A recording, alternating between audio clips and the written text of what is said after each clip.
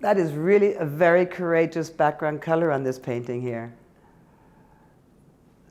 Ever since I was in my 20s, I've used the color pink in my paintings. And I love to make paintings with pink backgrounds.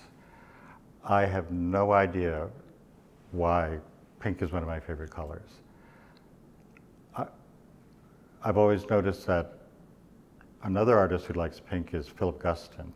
There's always pink in Philip Guston paintings.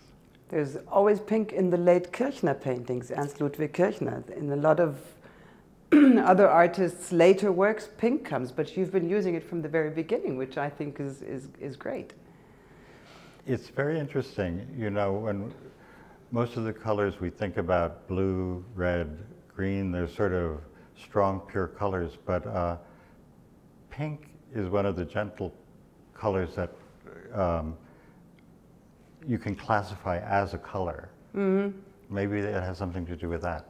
And it's, in a way, balancing the rigidness or sharpness or um, staticism of your shapes of, of, the prisms and cells. So it's contradicting that in a way? Perhaps so. You know, um, I'm friendly with the uh, designer um, Karim Rashid. Mm-hmm. Mm-hmm. And he told me ever since he was a little boy, he loved pink, and he only wears pink suits.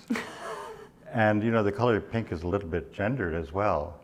And so when you talk about the sort of rigid structure of the paintings and you combine it with pink, maybe that adds a little bit of complexity.